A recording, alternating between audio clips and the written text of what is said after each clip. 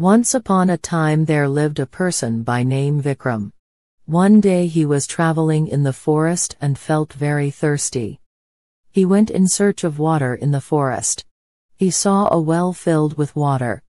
He went near the well to drink some water but to his surprise he saw a man, a snake and a tiger trapped inside the well. The three requested Vikram for help and promised not to harm him. Vikram was little apprehensive to take out the snake and tiger as he thought they may kill him after coming out. But the tiger and snake assured and promised him that they would not kill him. Vikram who was satisfied with the promise threw a long rope inside the well and pulled the tiger.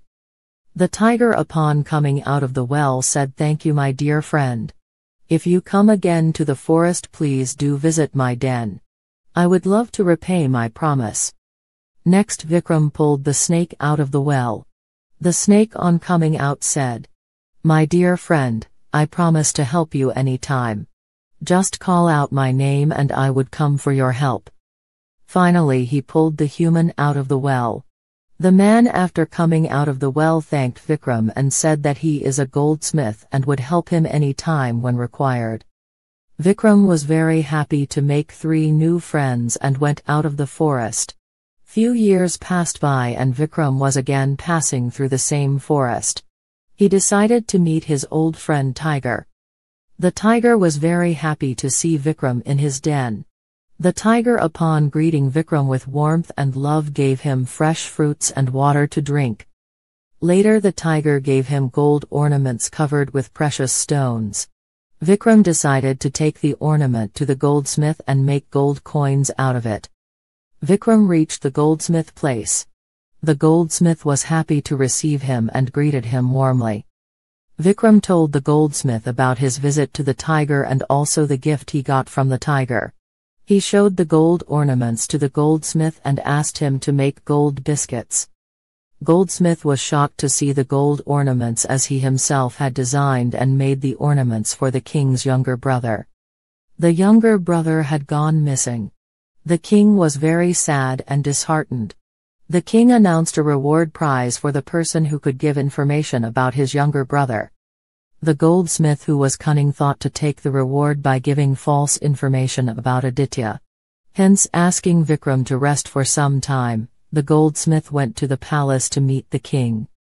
The goldsmith showed the gold ornaments to the king and said he found the culprit.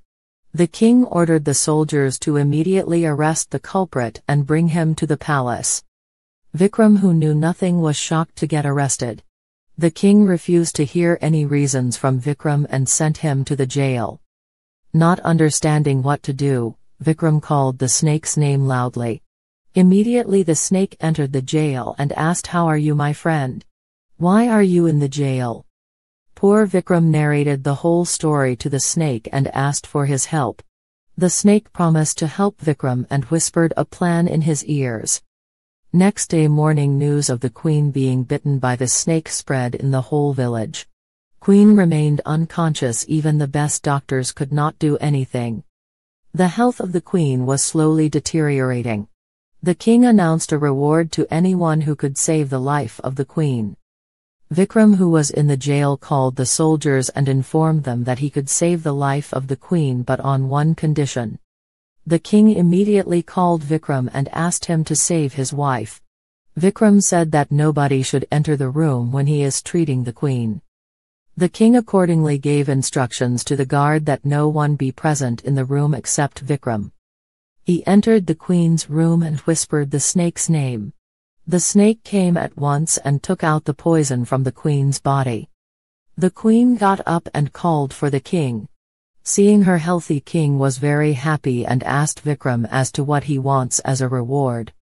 Vikram then said O king I don't want any reward, I just want you to listen to my story. Vikram narrated the whole incident to the king. The king understood that he was not at fault and cancelled his jail term.